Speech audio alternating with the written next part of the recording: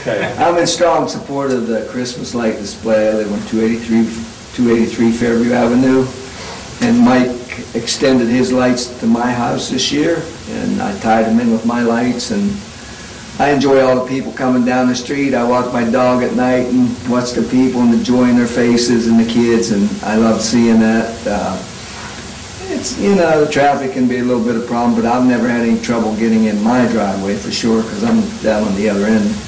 Uh, But um, what I love is my oldest daughter, you know, your, you know my daughters, John, uh, her and her husband and grandbaby, my two granddaughters come in from Dayton area, Ohio, and they love seeing the lights, and I go with them, and just to see the joy in my grandbabies' faces, uh, just makes it worth all for me. Um, I don't see a big problem with, I mean, I, I, I see, you know, people are all stressed out that time of year, their jobs and things, and that's a break for people, and just to see them get a break and enjoy the display, I think it's worth it all. So, uh, Just want to say I'm in strong support of it.